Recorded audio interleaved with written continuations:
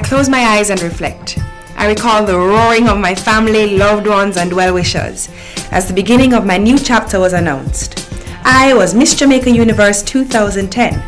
As I had visualized in my mind's eye, I was given the privilege to don my patriotic black, green, and gold on the international stage in Las Vegas for Miss Universe.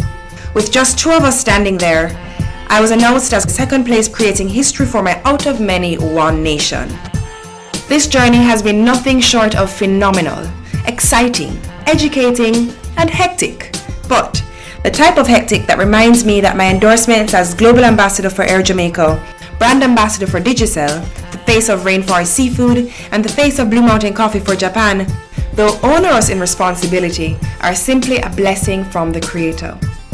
My reign has seen me traveling throughout the Western Hemisphere to Asia and back. I now have the dream role of being the host of Island Stylee, Air Jamaica's in-flight program.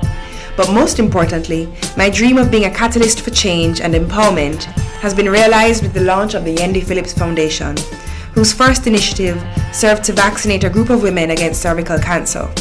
My life has changed. My perspective has broadened. I continue to evolve.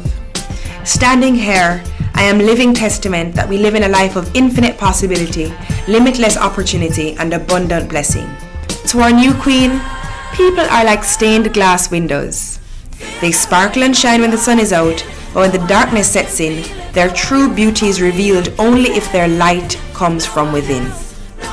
Be a true beauty, being exceptional and unique through you. Love, light, and blessings.